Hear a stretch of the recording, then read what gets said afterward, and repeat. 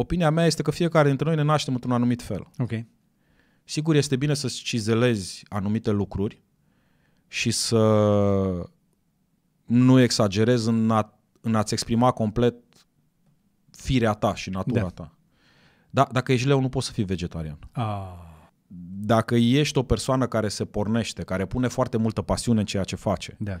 care este cumva deranjată la nivel mai mult decât ar trebui din perspectiva profesiei. La nivel personal, când văd o nedreptate, mă enervează chestia asta, Da. mă deranjează. Așa este. Și atunci mă implic cu toată energia și cu toată forța mea. Asta, asta, este, Așa este, dar, dar asta este cine sunt.